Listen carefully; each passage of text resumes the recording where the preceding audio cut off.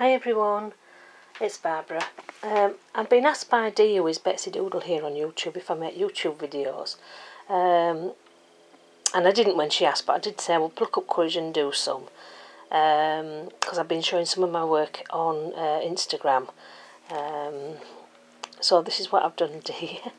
um, I saw a lady on Facebook called Miss Clementine, and she'd made some bunting. Um, she did a jumper, but her skirt was a vintage handkerchief, and it looked lovely. Uh, anyway, this is my version. I've revamped it a little bit. I've knitted the jumpers, put a little pearl round, and I've used some lace for the skirt because I thought it looked quite pretty.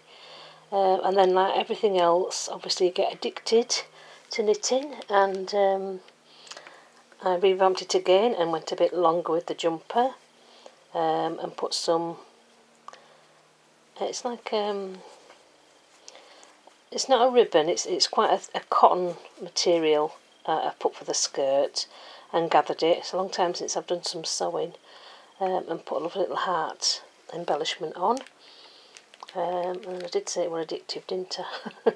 um, I'd got some uh, Christmas um, material, so I thought I'd make a little skirt out of that. Um, and then I did one in red, which is the same material as that.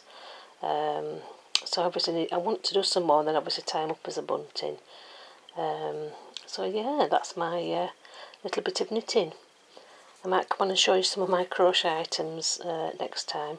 But thanks for watching. Thanks, bye.